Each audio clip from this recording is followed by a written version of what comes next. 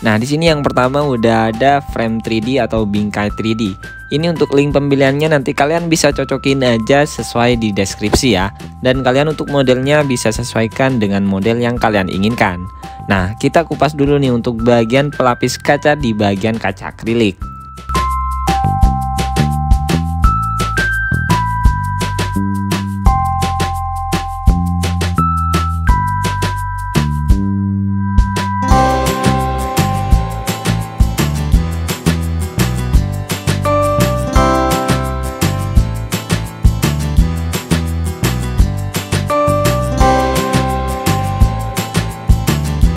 Nah kalau udah selesai dilepasin untuk pelapisan kertasnya jadi hasilnya kayak gini guys. Ini aku pakai bingkai yang double akrilik ya.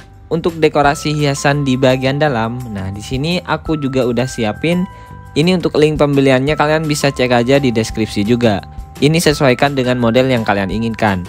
Bagian dekorasinya ini aku lem pakai lem G atau lem Cina ya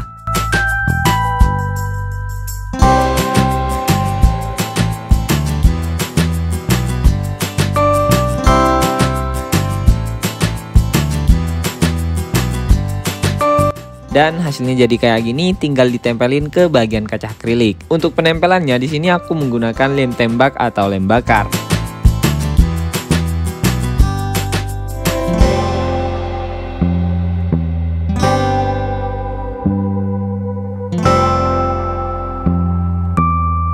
Jadi kayak gini untuk hasilnya kalau udah ditempelin selanjutnya kita tambahkan juga hiasan-hiasan yang lain seperti bunga. Untuk link pembelian bunga kalian bisa cek juga di deskripsi nanti kalian tinggal sesuaikan aja.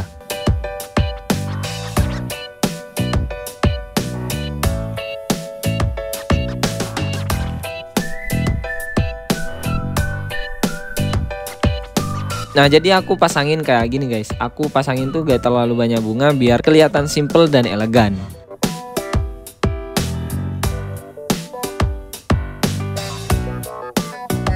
Oke, selanjutnya kita pasangkan untuk bagian jumlah mahar. Di sini aku udah siapin juga uang mainan. Untuk uang mainan ini kalian bisa dapatin di daerah kalian ya, bisa cari di toko mainan dan sejenisnya.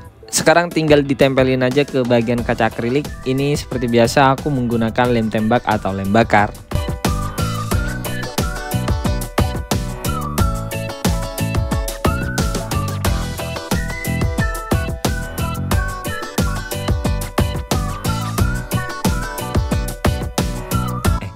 Oke guys, di sini udah selesai untuk pembuatan mahar bingkai frame 3D-nya. Untuk proses pembuatannya bisa dibilang cukup mudah dan kalian juga pasti bisa.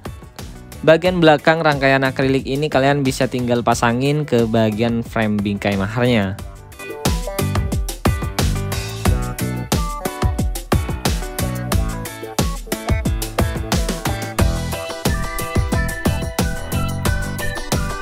Jadi di sini kalau udah selesai untuk perakitan pembuatan frame maharnya, jadi kayak gini untuk hasilnya.